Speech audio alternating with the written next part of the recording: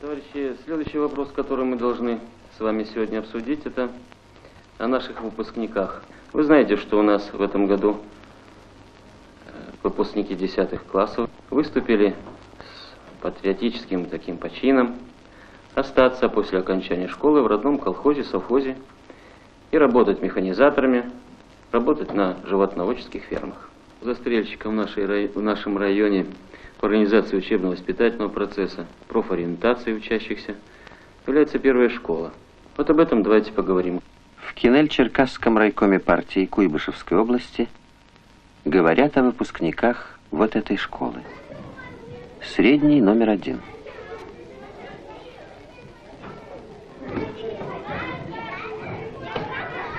Обыкновенная сельская школа – самые обыкновенные ученики. Но почему райком партии, руководители колхозов и совхозов так заинтересованы в том, чтобы в хозяйство района пришли выпускники именно этой школы? С этим вопросом мы обратились к директору, заслуженной учительнице школы РСФСР Валентине Матвеевне Веревкиной. Однозначно ответить на этот вопрос невозможно. Успех дела решают люди, кадры. Большинство учителей нашей школы здесь родились и выросли. Получив образование, вернулись в родную школу. Они хорошо знают и учеников, и их родителей, и семьи. А главное, все небольшие энтузиасты своего дела. Побывайте на наших уроках.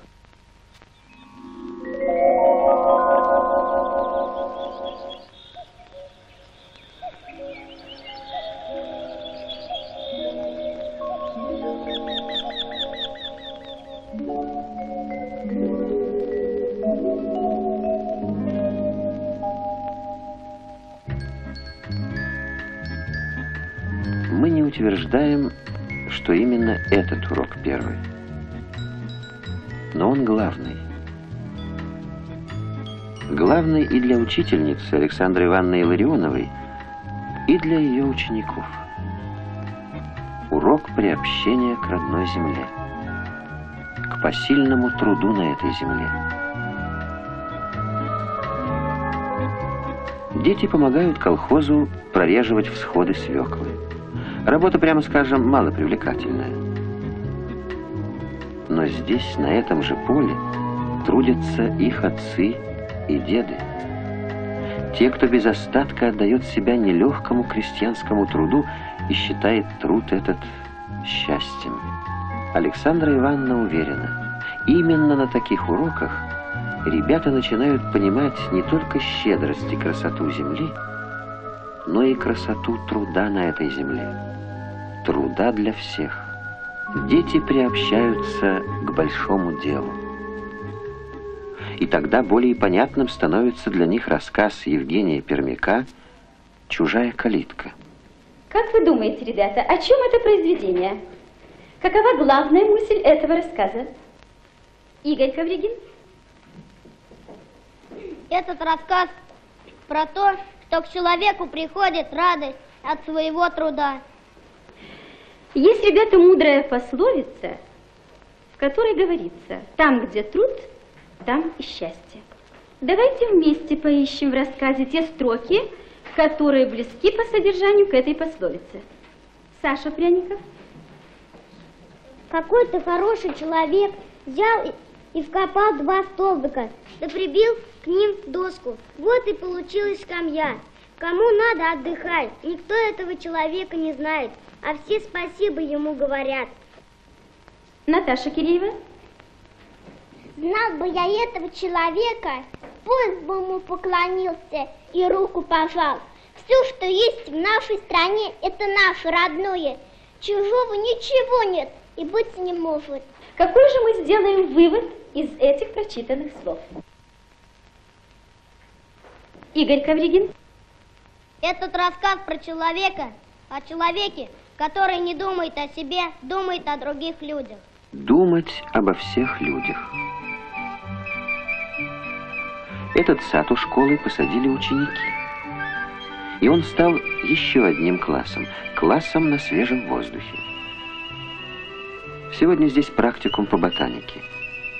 И этот рядовой урок под руководством Марии Николаевны Косаревой – праздник для ребят.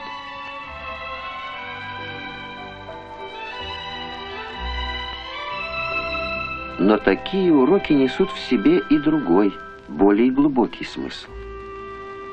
Ребенок растит яблоню не только для себя, для всех.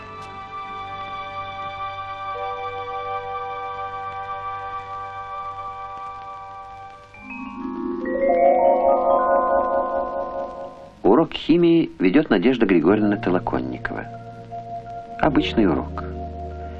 Но строится он так, чтобы каждую минуту весь класс работал с полной отдачей. Надежда Григорьевна старается приучить ребят к самостоятельности в учебном труде. Эта самостоятельность проявляется и в выполнении индивидуальных заданий, и в проведении лабораторных работ, и в решении сложных задач.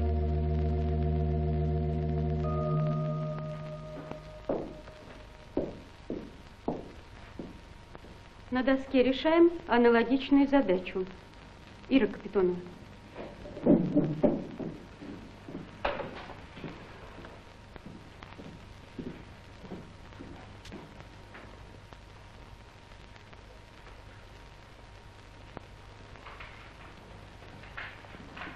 Активизировать внимание, научить каждого нестандартно мыслить, постоянно развивать интерес к предмету – важнейшая задача педагога. Как вы считаете, ребята, правильно решена задача? Таня? Задача решена правильно. Кто думает иначе? Женя Попов? На доске все верно. Но я сделал по-другому. Пожалуйста.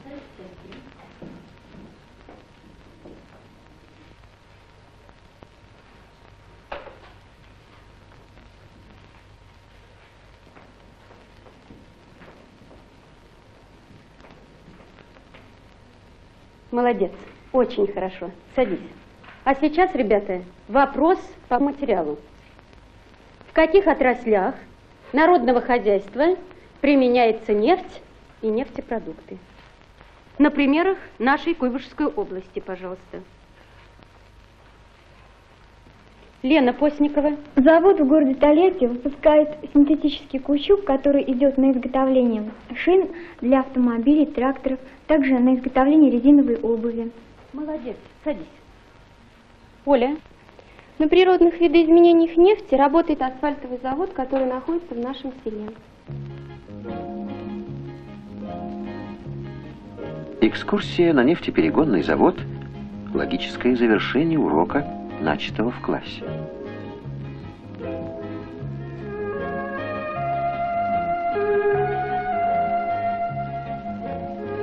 Здесь ребята со всей полнотой ощущают, как необходимы и важны знания, получаемые в школе.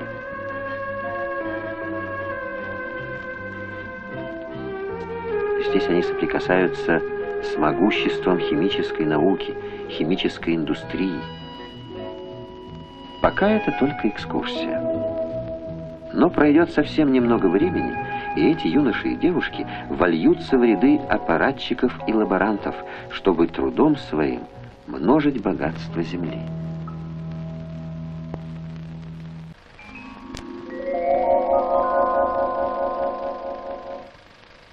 В настоящее время электрическая энергия широко применяется во всех отраслях народного хозяйства – промышленности, на транспорте, в сельском хозяйстве, кино, радио, телевидении, в быту.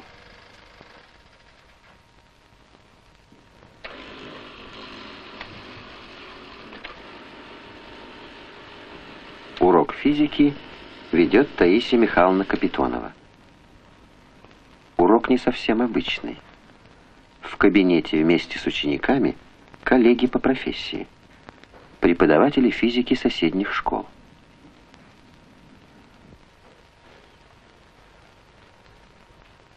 Ребята, мы закончили с вами изучение большой темы электромагнитные колебания, переменный электрический ток. Первый вопрос к вам. На каком явлении основано действие генераторов переменного тока? Оля Пуговкина. Действие генератора переменного тока основано на явлении электромагнитной индукции. Как вы думаете, ребята, в каких приборах и устройствах, находящихся в этом кабинете, используется явление электромагнитной индукции? Оля Лосева. В трансформаторах и реле, кинопроектора и усилителя. Отвечает Валера Мячин. В отклоняющих системах и силовых трансформаторах телевизор. Долгополова. Явление электромагнитной индукции используется также в кадоскопах. Хорошо, достаточно. Ребята, мы видим, что явление электромагнитной индукции широко используется нами в повседневной практике. Вот почему необходимо не только изучать его законы, но и умело пользоваться ими. Попытаемся решить несколько задач. Первая и третья группа выполняют вот эту задачу, а затем опытным путем проверяет зависимость КПД трансформатора от величины нагрузки. Остальные будут решать вторую задачу. В тетрадях дают подробный анализ и решение. У доски будет выполнять эту задачу Ваня Пупынин. Пожалуйста, Ваня, к доске.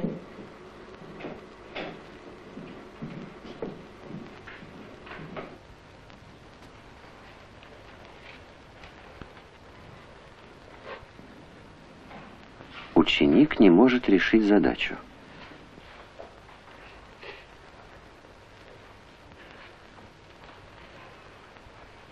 Кто поможет, ребята? Надя Гребцова к доске.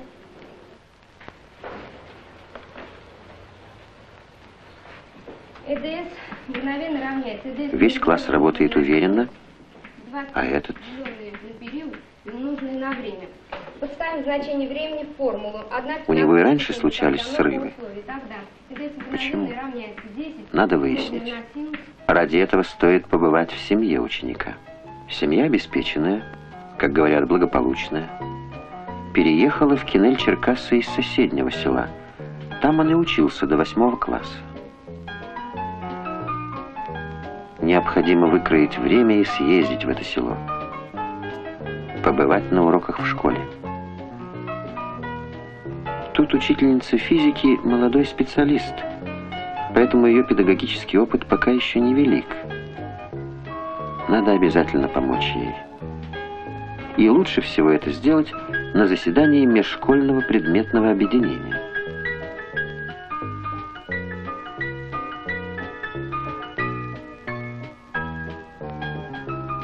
Общими усилиями легче разработать необходимые рекомендации, и они станут достоянием всех школ района.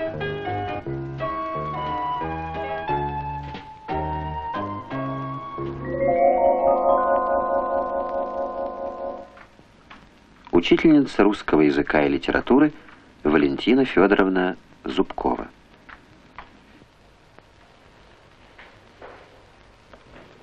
Здравствуйте, ребята. Садитесь. Сегодня нам предстоит написать сочинение на тему «Я землю эту люблю».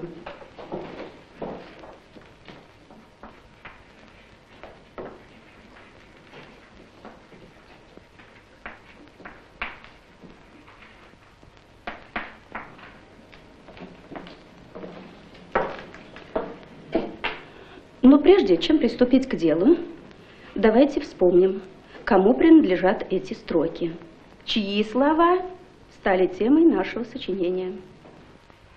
Марина Никифорова. Это слава Владимира Маяковского из поэмы «Хорошо». Правильно, садись. А теперь, ребята, подумайте, какой смысл поэт вложил в эту фразу и, в частности, в слово «земля». Коля Долгополов. Я землю эту люблю.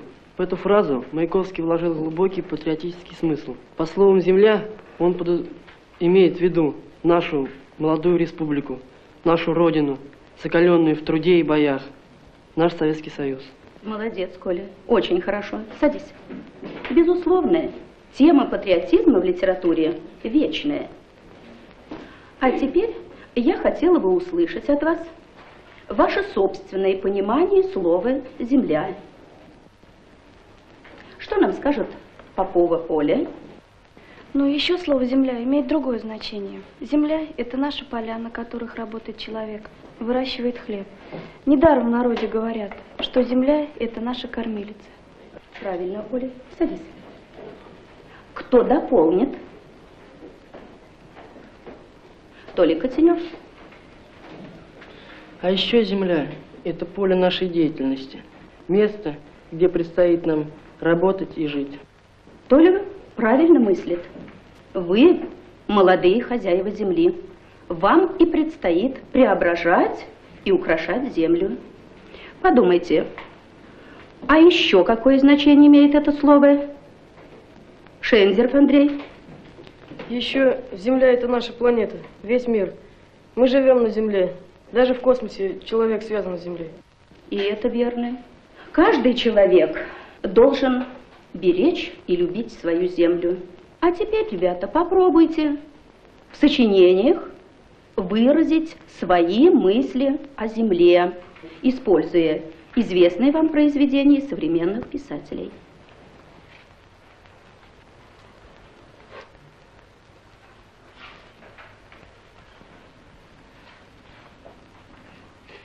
И ложится к строке строка.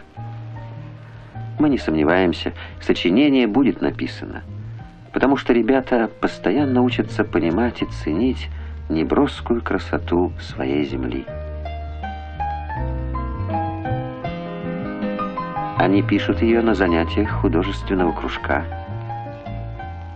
познают ее в собственной картинной галерее. Здесь, в школе, рождаются первые робкие рефераты, рассказы, стихи. Есть на свете уголок земли, что мне дорог тихою красой, где шумят от ветра ковыли, где тоскуют иволги весной, где березки, кроны распушив, в храпут становятся лесной, и где ива милая грустит, в синеву поникнув головой. Спасибо, Надя. Ваше мнение, ребята? В основной мысли стихотворения Надя хотела показать любовь к родному краю, к Иве, поникшей в синеву. По-моему, это у нее мысль ну, выразилась в этом стихотворении. Мне кажется, в свое произведение Надя вложила душу. Но если вы Идет разобрать, очередное то, заседание ну, филологической секции. Можно сказать, что Многое из того, что разбирается здесь, пока еще далеко от совершенства. Но организатор и руководитель секции Валентина Ивановна Шенкевич уверена, достигается главное. На таких занятиях ребята не только учатся владеть словом, развивают фантазию, они приобщаются к прекрасному.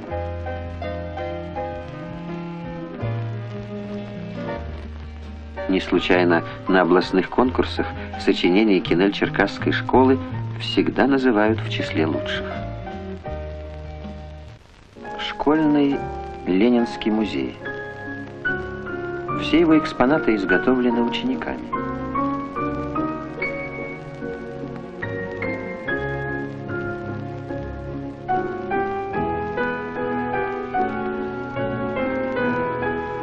Здесь бывают и ученики соседних школ, и знатные люди района. Гостям и хозяевам всегда есть что рассказать друг другу.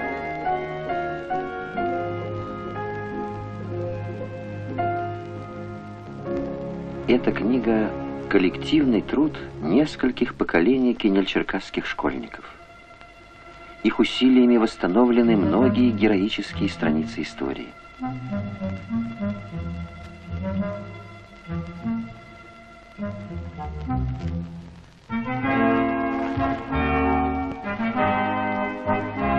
Ребята пишут историю. Но они не бесстрастные летописцы.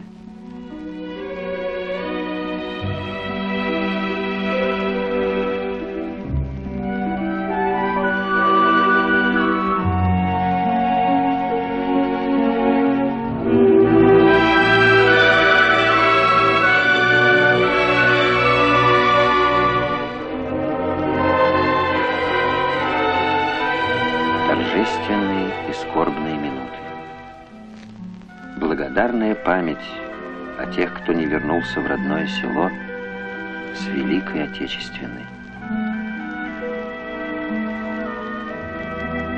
Юные следопыты под руководством учителя Ивана Трофимовича Ашрапова помогли установить неизвестные ранее имена. Многих из них Валентина Матвеевна Веревкина знала в лицо. Училась вместе с ними в той самой школе, которой теперь руководит. Герои не умирают. Они живут в памяти односельчан, в памяти поколений.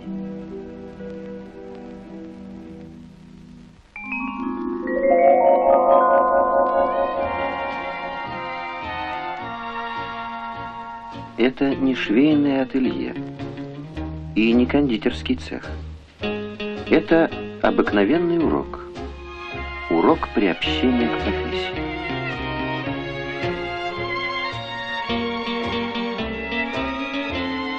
Школе каждый выбирает профессию по душе, приобретает не только глубокие теоретические знания, но и практические навыки.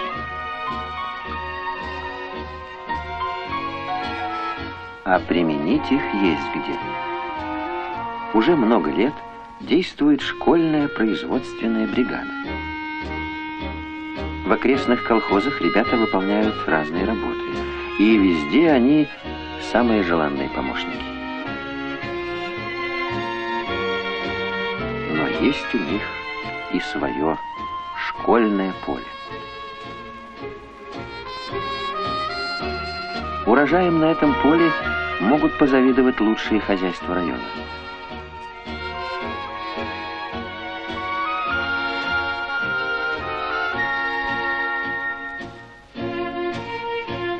Приносить людям пользу трудом своим на земле. Иногда, правда, хочется большего. Хорошо, например, помечтать о небе, о далеком космосе, сидя в пилотской кабине. Командир корабля Юрий Андреев мечтал о том же. Но он вернулся на свое поле, в свою землю и стал крылатым хлеборобом. Земля ценит преданность.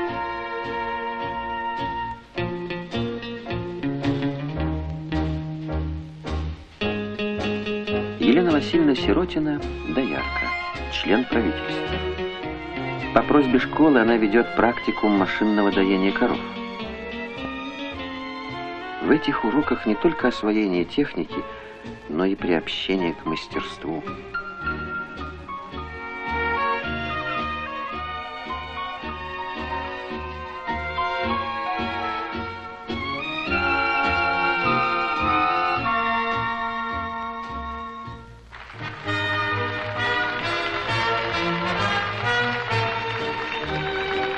Посвящение в хлеборобы. Этот торжественный акт не дань моде, веление времени. Они хлеборобы по призванию. И не потому ли этот плакат в школьной столовой кажется лишним? Ребята хорошо знают цену не только куска хлеба, но и вкус пота, с которым он достается. Они хлеборобы. Однако не хлебом единым жив человек. В Кинель-Черкасах это хорошо понимают. Хочешь заниматься спортом? Иди в спортивную секцию. Любишь книгу? К твоим услугам богатая библиотека.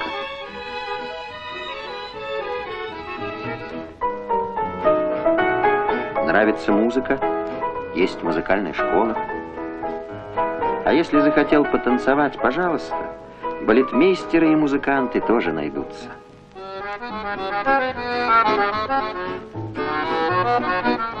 Не случайно среди кинель-черкасских школьников нет ни одного правонарушителя.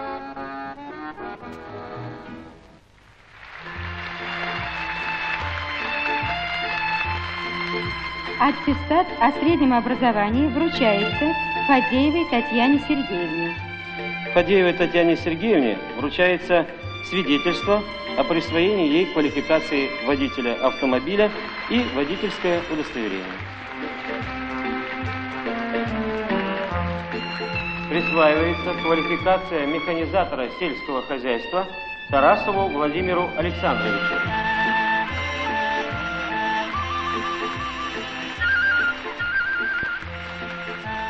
Присваивается квалификация мастера машинного доения Черепановой Любови Дмитриевне.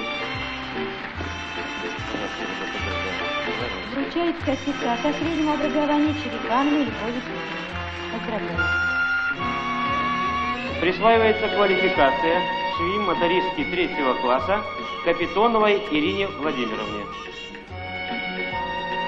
Поздравляю вас, Ира. Желаю вам больших успехов. Вручает сертификат особого образца Капитоновой Ирине Владимировне и золотая медаль.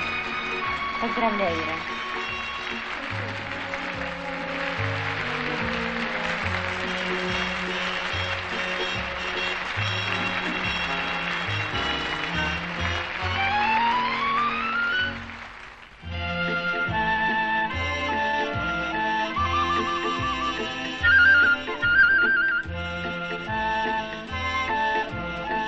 Начинается утро. Утро самостоятельной жизни. Ребята готовы к ней. Они знают свое поле, свою землю. Они знают главное. Всегда быть человеком. Человеком-тружеником. Человеком-творцом.